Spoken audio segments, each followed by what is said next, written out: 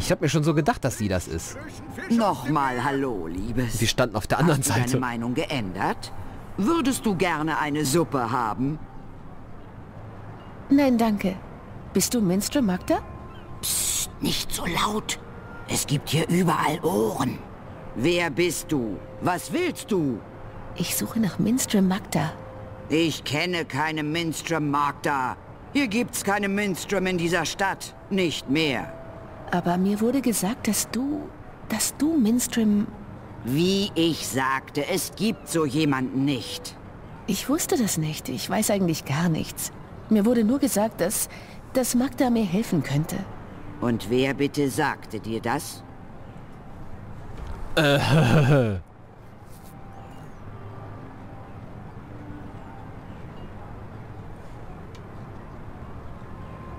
Theoretisch blinder Bob, der Bettler. Ah, der blinde Bob sagte dir, du sollst mit Magda sprechen? So ungefähr. Er erzählte mir, wo ich dich... äh, ich sie finden kann. Nun, eigentlich sagte er mir, nach wem ich Ausschau halten soll, um Magda zu finden. Ah, das wird ja immer mysteriöser. Und wer sollte das dann sein? Crazy Clara. Ich meine, Clara. Ich weiß ihren vollen Namen nicht. Sie lebt bei der Brücke. Du scheinst ziemlich viele Menschen in der Stadt zu kennen. Wer kam auf die Idee, zuerst Magda ausfindig zu machen? Die Gastwirtin vom Journeyman. Sie sagte, dass ich unbedingt mit Magda sprechen müsste. Die Gastwirtin. Und wer bitte könnte das sein? Herrgott! Sally Minren. Ach du Kacke, wie heet die? Myram Bellman? Benrim Salmon? Sally Minrin? Ich glaube, das ist ihr Name. Ich glaube, so war ihr Name. Das war ihr Name, richtig? Ich bin ziemlich sicher, dass es ihr Name war. Ihr Name ist Benreem Salmon. Na schön. Also schickte Ben Reem dich los, Magda zu finden. Ja. Warum sollte sie so etwas machen? Weil ich... ich... ähm, nicht von hier bin. Das ist ziemlich offensichtlich. Na gut, Liebes. Ich glaube wirklich, dass du tatsächlich so verloren bist, wie du aussiehst. Danke. Ich bin Magda. Nur Magda. Und es wäre schön, wenn du mich so nennen könntest. Entweder so oder Madam. Keine Titel, keine Ehrennamen. Ben Reem sollte dir das verständlich gemacht haben. Ich werde dir helfen, alle Fragen, die du hast, zu beantworten und dir sogar den richtigen Weg weisen. Aber sei diskret. Wie ich schon sagte, es gibt hier überall Ohren. Das ist auch lustig. Am Anfang sagte sie zu uns, hier gibt's überall Ohren und jetzt gerade eben sagte sie, Magda, ich bin Magda, nenn mich Magda. Das ist Wahnsinn. So, extra langer Teil heute, auf geht's. Warum kann ich dich nicht bei deinem vollen Namen nennen? Minstrom ist kein Name. Es ist ein Titel, den ich trug, bevor die Asadi den Sentinel aus der Stadt verbannt haben. Und das ist eine Position, die ich nicht mehr innehabe. Sie gehört der Vergangenheit an und ich möchte hier nicht mehr darüber sprechen. Die Wände haben Ohren. Ich frage mich die ganze Zeit, wie sie die Brille festgemacht hat, weil die Bügel über die Ohren fehlt. Wer sind die Asadi? Sie sind unsere Beschützer und unsere Gäste. Sie halfen vor zehn Jahren Makuria von den Armeen der Tyrant zu befreien. Und dann entschieden sie sich, zu bleiben. Dann ist die Stadt unter Besetzung? Keineswegs. Du würdest gut daran tun, von den Asadi nicht schlecht zu sprechen. Sie sind hier, um die Nordländer zu einen und Namen ihrer Göttin zu konvertieren. Und sie sind sehr speziell in ihrem Glauben. Das lässt einem hübsch wenig Raum für andere Ideen. Aber das ist alles, was ich dir erzählen werde. Ich würde dieses Thema vergessen, wenn ich du wäre. Warum sagte die Gastwirtin zu mir, dass ich zu dir gehen soll? Wahrscheinlich deswegen, weil ich den Reisenden vor dir auch geholfen habe. Aber die Zeiten haben sich geändert. Makuria ist ein sehr gefährlicher Ort für Leute wie dich geworden. Für mich auch. Aber ich bin von hier Du nicht. Denkst du das? Ich möchte nach Hause. Und das solltest du eilig tun. Es gibt hier kein Abenteuer mehr zu erleben. Nicht mehr. Gibt es nichts, was du für mich tun kannst? Wie ich schon sagte, ich werde dir mit allen Fragen, die du hast, helfen. Und ich werde dir die richtige Richtung weisen. Aber das ist alles, was ich tun kann. Kannst du mir helfen, in meine Welt zurückzukommen? Nein, das kann ich nicht. Das ist zu gefährlich.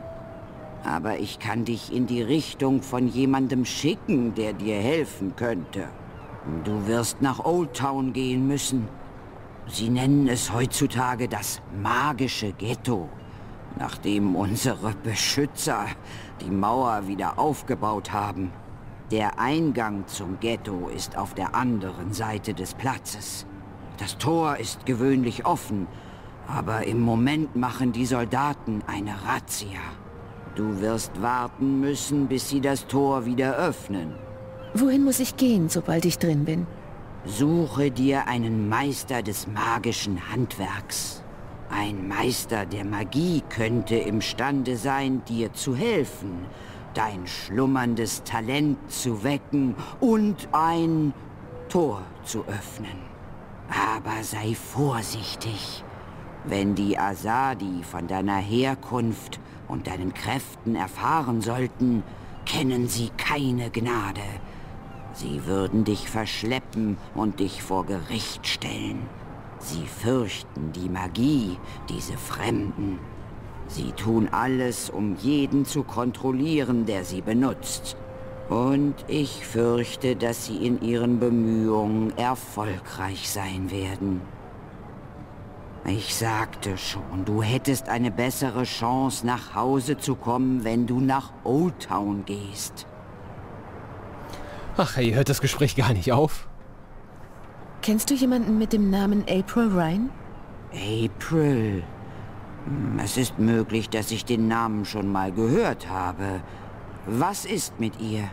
Ich weiß nicht, ich muss sie finden. Wir haben etwas gemeinsam und ich denke, ich denke, sie ist in Schwierigkeiten. Und du hast vor, sie zu retten? Wie willst du das anstellen? Ich weiß das auch nicht genau, ich muss sie jedenfalls finden. Nun, es tut mir leid, aber ich kann dir bei dieser Angelegenheit nicht helfen. Was ist das magische Ghetto?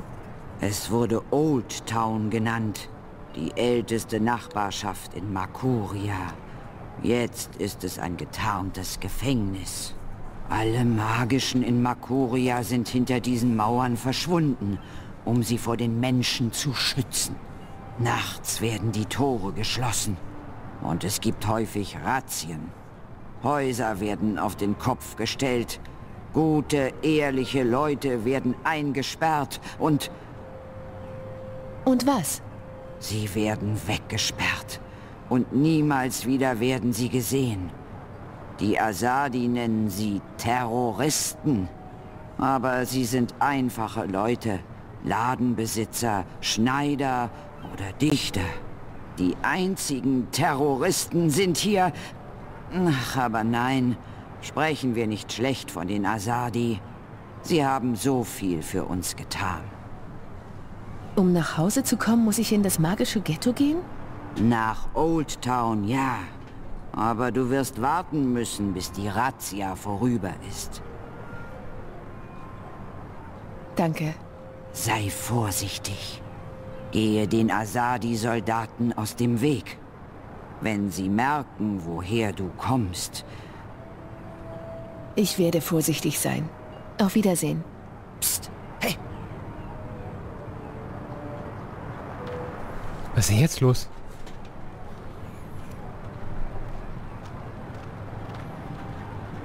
Was willst du?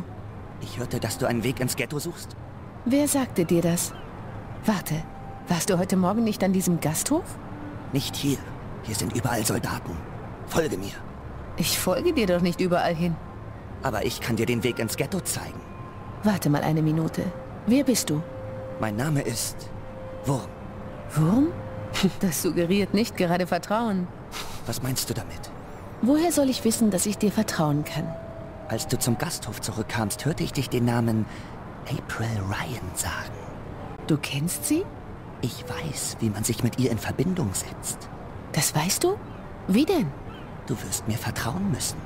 Wenn du mich beim Gastwirt belauscht hast, dann weißt du, dass ich nicht von... von hier bin. Ich kann doch nicht jedem Fremden, den ich auf der Straße treffe, folgen. Ich meine, woher weiß ich, dass du mich nicht gleich in eine dunkle Ecke zerrst, mich zusammenschlägst, mich fesselst und dann in irgendeinen Keller verschleppst? Was? Ich verspreche, dass ich dich nicht in einen Keller verschleppen werde.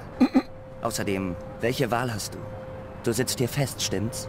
Ich bin der Einzige, der dich zu Ray... zu April bringen kann. Sie ist doch diejenige, zu der du willst, oder? Okay, gut. Ich habe so gut wie keine andere Wahl. Aber wenn du mich anlügst, werde ich schreien. Und ich kann ziemlich laut schreien. Ich bin sicher, dass du das kannst. Ich verspreche dir, kein Keller. Los, komm mit. Und was ist mit dem Zusammenschlagen und dunkle Ecke? Komm, beeil dich. Wir wollen doch nicht, dass uns jemand folgt. Ja, ich bin... Nahe bei mir. Ja! Da ist es. Wir sind fast da. Nur noch um die Ecke. Was, da unten?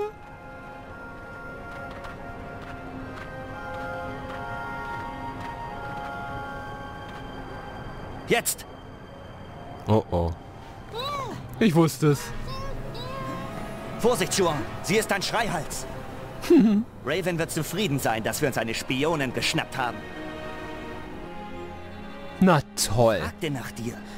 Da gibt es keinen Zweifel. Sie ist eine Spionin. Sie sieht nicht aus wie eine Asadi. Will das was heißen? Du weißt es nicht und du kannst niemandem trauen. Lass sie uns loswerden. Bren, Alles, was ich sage, ist, lassen wir es lieber nicht darauf ankommen. Sie hat vielleicht einen Verfolgerzauberspruch anhaften. Ich habe etwas entdeckt. Es gibt etwas Seltsames an ihr. Aber keine Magie. Seltsam? Was habe ich dir gesagt? Sie ist eine Spionin, ganz recht. Komm, lass mich... Still. Ich werde mit ihr sprechen. Allein. Was? Warum? Bryn, lass mich nicht meine Geduld mit dir verlieren. Du musst mir vertrauen. Aber... Bren, komm jetzt. Gut, gut. Aber sag nachher nicht. Ich hätte dich nicht gewarnt. Warum stellst du Fragen über mich? Wo bin ich? Wer seid ihr? Ich stelle hier jetzt die Fragen. Warte, du bist April, nicht wahr? Ich kenne dich von dem Bild. Was? Welches Bild? Ein Bild von dir und deinen Freunden, Charlie und Emma.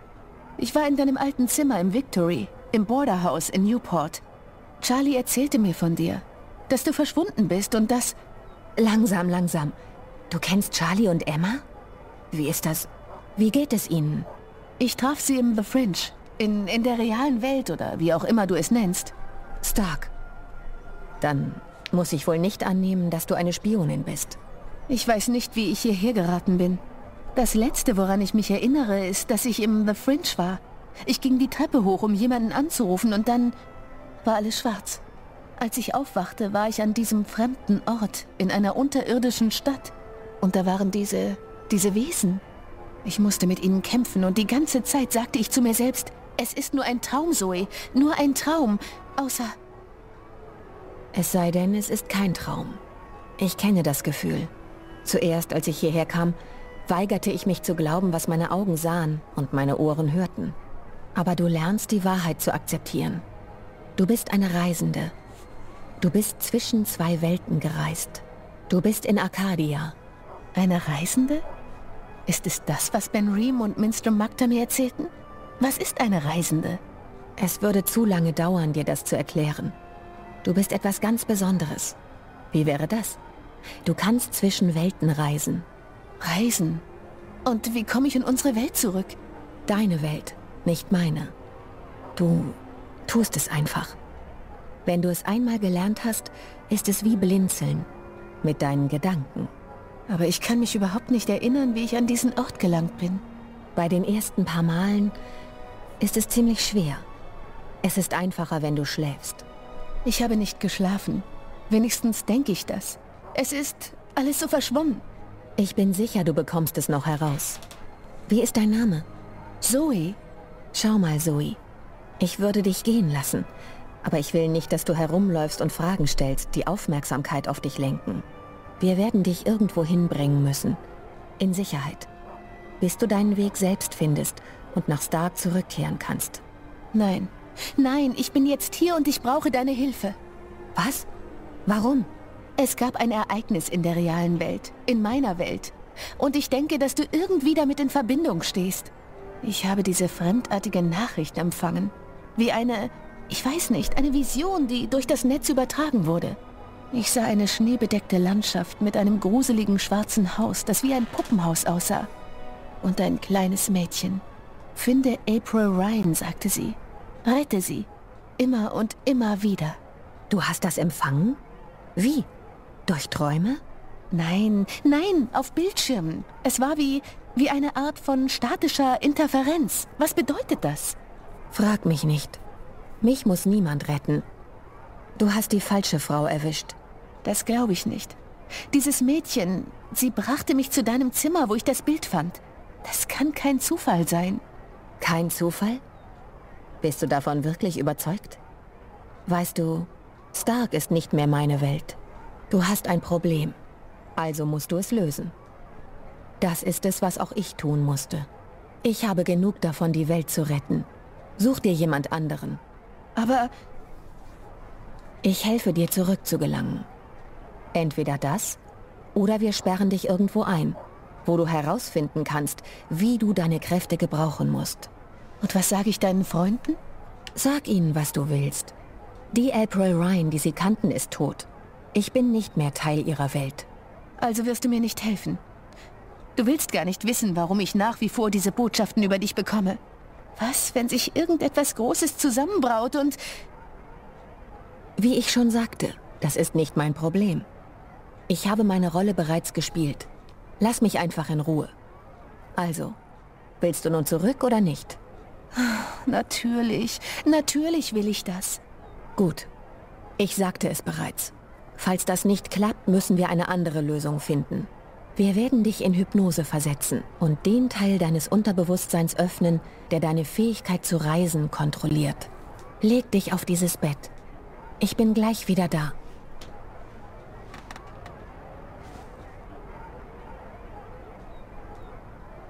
Was hast du vor? Es gibt einen Teil in dir, der weiß, wie das Reisen funktioniert. Ich werde dir helfen, dich daran zu erinnern, was du noch nicht gelernt hast. Und ich werde wieder nach Newport zurückgelangen? Dafür gibt es keine Garantie. Vielleicht kommst du an einem anderen Ort heraus. Versuche dich auf einen vertrauten Ort zu konzentrieren. Einen, wo du sicher bist. Also wirst du mir nicht helfen. Du brauchst meine Hilfe nicht. Lieg still. Wovon redet sie da? Etwas geht vor sich daheim in unserer Welt. Ein guter Freund von mir ist verschwunden und... Und davon darfst du nichts erzählen. Oder ist es dir lieber, dass wir dich einsperren? Und ich glaube, April könnte mir helfen herauszufinden, was ihm zugestoßen ist. Und warum. Warum also willst du mir nicht helfen? Weil ich schon genug Ärger in meinem Leben habe. Weil wir einen Krieg kämpfen. Und weil ich fertig bin mit deiner Welt. Hör mal, das hier ist deine letzte Chance. Schließe deine Augen Atme langsam. Rede nicht. Hör nur auf Naanes Stimme. Nea Amam Eanan. Höre auf meine Stimme. Lass sie auf dich wirken, in die geheimsten Orte deines Geistes hinein. Anean, Eanan, Ayanan. Ich fühle überhaupt nichts. Was soll eigentlich... Was... was ist gerade passiert? Ich weiß nicht, April Ahn. Sie hat keine Passage geöffnet. Und ihre Kleidung... Sie ist noch hier. Und wohin ist sie verschwunden? Ich weiß nicht. Ich habe so etwas noch nie gesehen. Es ist fast, als ob sie eine Rauchwolke wäre, die durch den Wind fortgeblasen wurde. Ist sie tot? Ich kann es nicht sagen. Ich kann sie in dieser Welt nicht spüren. Aber ich denke nicht, dass dieses Mädchen eine Reisende ist. Dann, was ist sie? Und wohin ist sie verschwunden?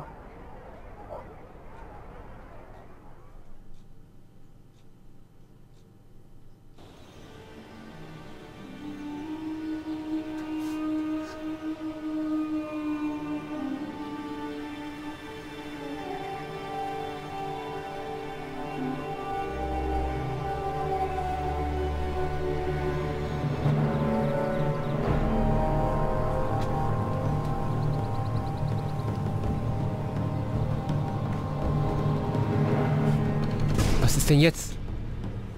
Was ist denn jetzt hier? Hallo? Äh, was?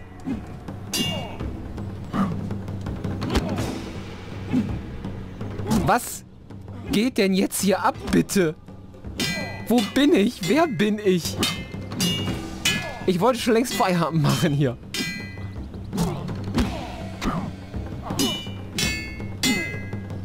Ihr Jungs werdet eines Tages Krieger sein.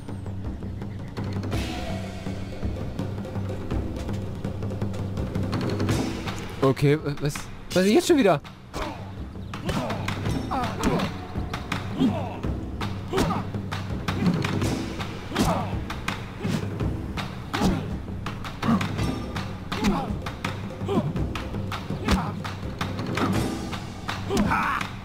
Eure Feinde werden vor euch erzittern. Was geht hier gerade ab?